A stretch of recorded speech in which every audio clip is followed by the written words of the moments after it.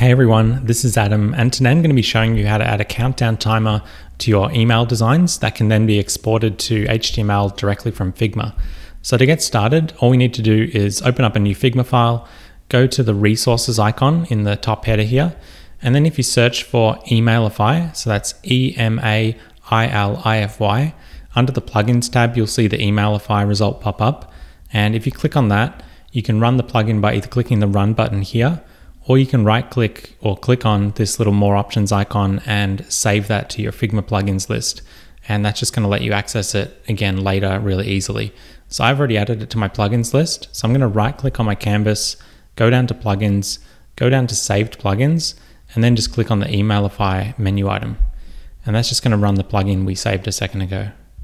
So if you're new to the plugin, the way that it works is you basically add uh, a special email frame using the plugin. So I'm just going to add a new uh, frame. I'm just going to call it email countdown, add that container.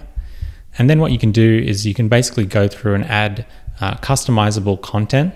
So if we go through and add some of these modules, it just instantly adds a whole bunch of content that you can customize in Figma as you'd expect uh, changing the content, changing the styles, changing the colors, all of that sort of stuff to suit your needs.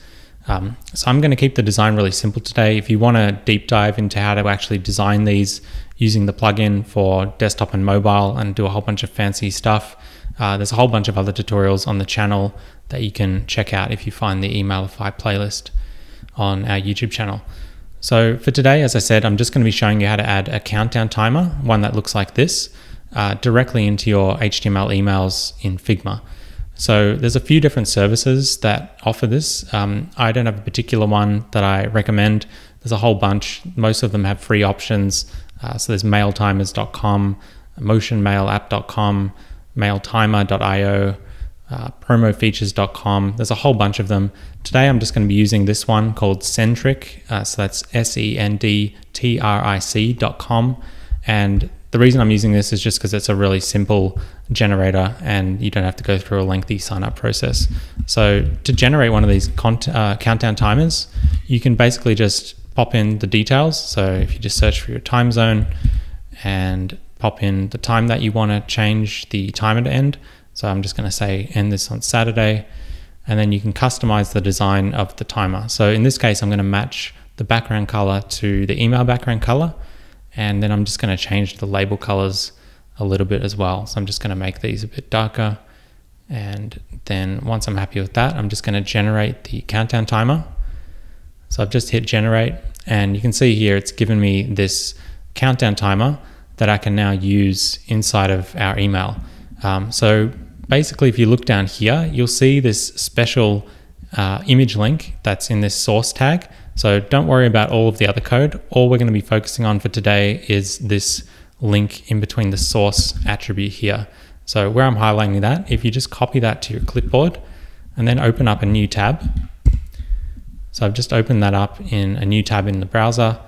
And what we're going to do is we're going to drag and drop this image. We have to actually copy it. So if we do copy image and then do paste with command V or control V if you're on Windows, and so now we've got our image layer and this is a static image layer. This is not a GIF, um, but the way we're going to be using this is to swap out the image URL with the live one in a second. So keep this tab open because we're going to be using it again in a second. So I'm going to be taking this image layer and I'm going to be moving it inside of my existing content layer. So I want to include the countdown timer in this content here. So I'm actually going to drag and drop that image directly into that column layer. So that's in there now. And I can center that by going to the column layer, clicking on the center icon in the auto layout settings. So that's now centered this image layer. And now what we want to do is we can either leave it at that size. So this is the um, 1x kind of size, but I actually want to make this a little bit smaller. So I'm going to go into my width properties and I'm just going to go divide by two. So I've just divided that by two. Um, and that's basically going to make it look a little bit sharper uh, once we now export this into HTML. So to make this dynamic, the way that we can do it is if you click on the image layer, once you've clicked on the image layer, you want to go into the plugin and click on the HTML and mobile settings button. And as you can see, once you click that, it loads up a whole bunch of options that you can apply to this image. And the one that we're interested in today is the override image source option. So what this allows us to do is paste in a custom image URL. And when this email gets exported to HTML in a moment, this value here is going to be automatically swapped in place of whatever image we've got in Figma. And so I'll show you what that looks like. If we go back to our tab and just copy that URL, so copy that whole uh, dynamic countdown timer link that we generated, go back to your plugin and paste it inside of that override image source attribute, and then close off the settings panel. And then we can now preview that by clicking on the preview uh, button up here. And this is going to generate a HTML preview. This is a real HTML preview of the HTML email. So we can expand that out to go to a wider size so we can see what it looks like on desktop. And you can see here, this is a dynamic uh, GIF. So this is now pointing to the dynamic link that we got from our browser that we generated. This is now the exact same URL is now being loaded in to this image tag here uh, dynamically. So it's overriding whatever image is in Figma and it's swapping it out with that URL pointing directly to the countdown timer. So this is how we can include a dynamic countdown timer in our HTML email. And so I'm now going to export that to HTML. And the way we do that is just by closing off the preview, clicking on the export HTML button. So I'm going to do that. And then I'm going to hit the HTML email option. There's a whole bunch of other platforms. If you're using a certain platform like MailChimp or Klaviyo, you can upload this directly into your platform. Today I'm going to keep it really simple and just download it to the computer. And I'm just going to click export to HTML. And this is going to generate the HTML for us. So I'm just going to save that. I'm going to download the zip file. I'm just going to pop it on my desktop and hit save. And then if I open up the Finder and just go to the desktop, double click on the zip file, open up the folder, and now if we open up the preview HTML, so I'm just going to drag that into my browser, and you can see here that we've now got our exported HTML ready to go. It's got our countdown timer. We can see what it looks like on mobile. We can see what it looks like on desktop in this preview.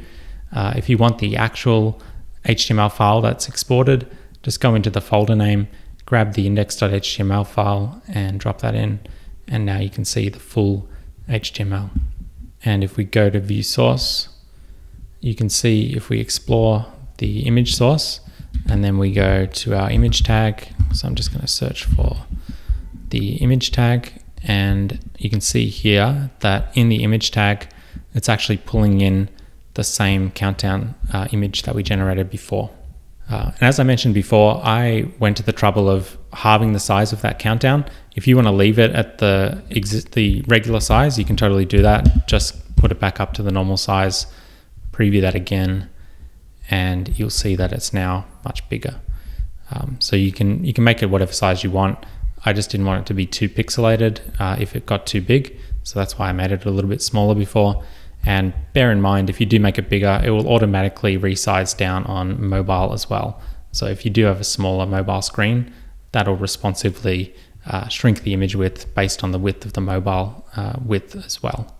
So you don't need to worry too much about that. Okay, so I think we'll leave it there for today. Um, I hope that's been helpful as some of you have been asking uh, for how to do this, how to insert a dynamic countdown timer uh, into your HTML emails using the Emailify plugin uh, and Figma. This is the best way to do it. As I mentioned, uh, explore some of these options. We've only gone through one of these services today. Some of the other services are going to allow you to create more customizable uh, countdown timers. So do check out a whole bunch of different options and find the right one for you. As you can see here, some of these are much more advanced. Uh, you can customize the design a lot more. So this one is always uh, going to be a basic one if you just want a really easy option. Um, but if you're wanting something that's more engaging, you might want to check out some of these other services, such as this one, mailtimer.io, uh, or some of the other ones that are available. We'll leave it there for today. Uh, I just wanted to focus on the countdown timer for this tutorial and keep it fairly straightforward. So uh, I hope that's been helpful, as I said, and please feel free to give it a try in Figma with you or your team. And thank you as always for watching. We'll be back soon with more Figma tutorials like this one very soon.